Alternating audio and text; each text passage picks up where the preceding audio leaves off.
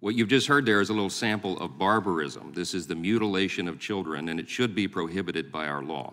Representative Mike Johnson is calling for a nationwide ban on gender transition surgeries for minors. His statement came during a House Judiciary Subcommittee hearing on the dangers of due process violations of gender affirming care for children. Even a parent has no right to sexually transition a young child. Our American legal system recognizes the important public interest in protecting children from abuse and physical harm. Johnson explained general safety laws, such as wearing a seatbelt and minimum ages for driving, drinking alcohol, and smoking, exist to protect the public, despite their non libertarian nature. The Louisiana Republican also spent time dismantling the American medical establishment's virtually unanimous support for child sex change procedures. This so called gender affirming care is anything but affirming and caring, and the language matters.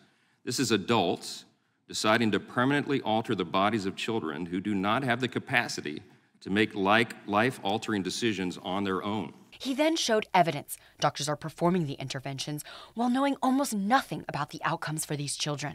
Those of us that do a fairly high volume of genital gender affirming surgery you know, we've maybe done a couple, a handful of pubertally suppressed adolescents as a field, and no one's published on it yet. Um, OHSU is we're just putting our first series together as we're kind of learning and figuring out what works. Johnson is even more alarmed by the attempt of the transgender community to exclude parents as much as possible from making decisions about the health of their own children. We saw this in my home state of Louisiana recently, where Children's Hospital of New Orleans laughed in the face of a young girl's parents when they attempted to intervene as doctors sought to transition their daughter without their consent.